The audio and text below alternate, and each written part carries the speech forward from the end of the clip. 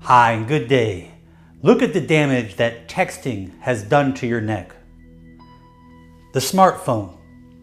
All the hours multiplied by days, weeks, and years that you spend in a forward looking down position. That becomes a very serious problem to our neck and our upper shoulder region. It's not only you, but what about your children, your family, your loved ones? Look at the hours that they spend in that forward head position multiplied by all those long hours and imagine what kind of damage it's doing to their spine. Look at the burden of staring at your smartphone. 12 pounds is the normal weight of the head. 15 degrees looking forward, 27 pounds of weight your head is. 30 degrees, 40 pounds, 45 degrees, 49 pounds, and 60 degrees, 60 pounds of stress. The back of those muscles, ligaments, and tendons are trying to hold up the weight of that head.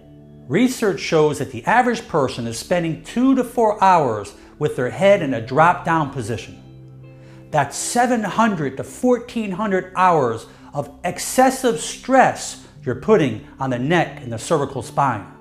The forward head posture leads to neck pain, pain over the head behind the eyes, headaches, pain into the arm, tingling, numbness, pain between the shoulder blades, pain into the chest region, bulging discs, herniated discs, spondylosis, arthritis, osteoarthritis, degenerative joint disease, and many, many more problems. It's hard to imagine the amount of stress that the muscles and ligaments behind our neck are holding up, trying to withstand the weight of your head going against gravity. Imagine just holding up a bowling ball that weighs eight pounds, holding it up in front of you like this. Imagine after seconds how much pain and discomfort your shoulder is going to feel. Early ages of 20, 25, and 30 show significant degeneration, osteoarthritis, extra calcium in the joint, and wear and tear that's going on because of the excessive weakness and instability. The discs in the neck area become more compressed, causing the intervertebral foramen, the holes where the nerves come out of, to become more irritated and inflamed, causing pain and dysfunction. Significant amount of early advanced degenerative changes, osteoarthritis, all this extra calcium being laid in the joints because of this instability. Quite common, the deformation of the anterior forward head posture, how the body compensates as a result of this instability, something that you might have to learn to live with the rest of your life.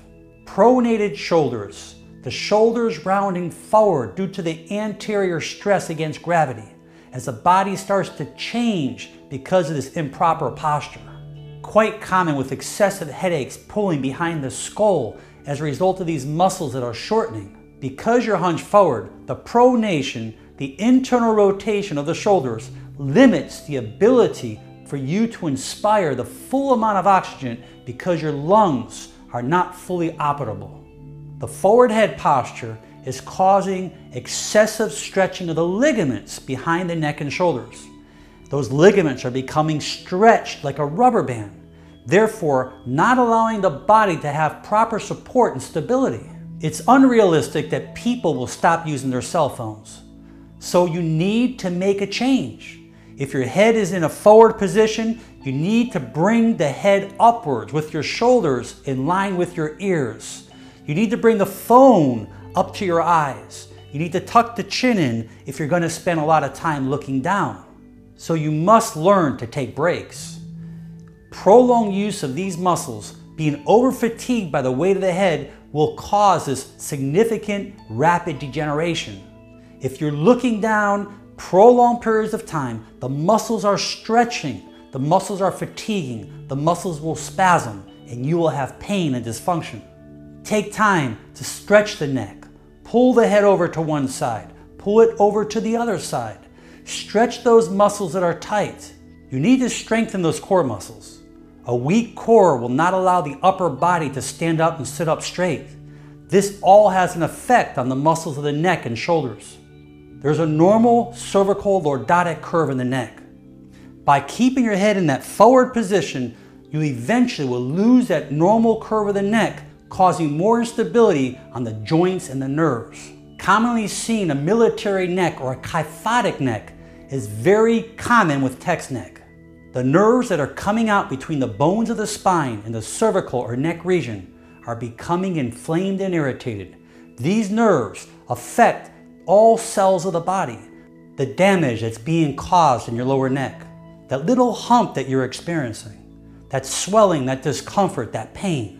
When the alignment is off on your automobile, the tires wear out quicker. It's no different when our head is tilted down forward. It's going to lead to herniated discs and disc degeneration. So good posture is not only about standing tall, it's allowing all the organs, tissues, and glands in your body to work at its maximum potential. So be aware of your posture when you're holding your phone. And most important, be aware of your posture when you sit, stand, and even walk. Make it a great day. I'm Dr. Alan Mandell.